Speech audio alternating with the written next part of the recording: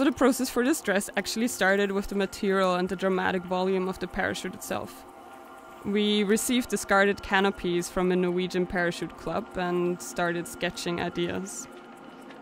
The harness consists out of some strings and metal trims that were attached to the canopies we received. And the bodice of the dress is inspired by a protective motorcycle jacket I found in a thrift store.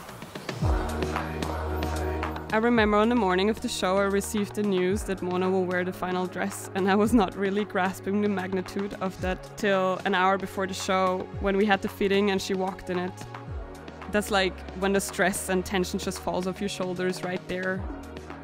I think when you're working in this industry, it's so easy to lose sight of what's happening and who's around you because your perfectionism blinds you, and then these moments remind you of how human you are.